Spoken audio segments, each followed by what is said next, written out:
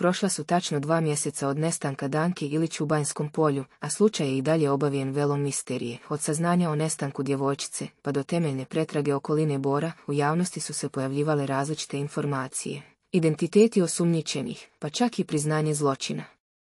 U međuvremenu stigao je rezultat psihijatrijskog vještačenja koje je osumnjičene Dejana Dragijevića i Srđana Jankovića proglasilo uračunljivim. Novi svjedoci bit će saslušani sljedeće sedmice u višem javnom tužilaštvu u Zaječaru.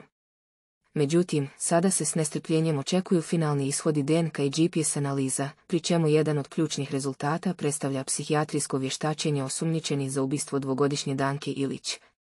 Dejan Dragijević i Srđan Janković prethodne sedmice proveli su u specijalnoj psihijatrijskoj bolnici u Beogradu i utvrđeno je da su uračunljivi. Više javno tužilaštvo u Zaječaru dobilo je rezultate DNK vještačenja koji su pokazali da u automobilu, za koji se pretpostavlja da su ga osumnjičeni koristili kada su udarili Danku Ilić, nisu pronađeni njeni biološki tragovi. Kako je istakao Miodrag Kanović, tužilac višeg javnog tužilaštva, pristigli rezultati predstavljaju samo jedan dio vještačenja, budući da se vještači veliki broj predmeta. Ovo je rezultat vještačenja dijelova stvari iz službenog automobila. Stiglo je samo prvih nekoliko izvještaja vještačenja koja je obavio Nacionalni centar za kriminalističku forenziku, a očekujemo izvještaj vještačenja sa Biološkog fakulteta Dejan Dragijević je detaljno opisao ubistvo. Saopštio da su tijelo bacili na deponiju, a potraga za Dankom se koncentrisala na selo Zlot.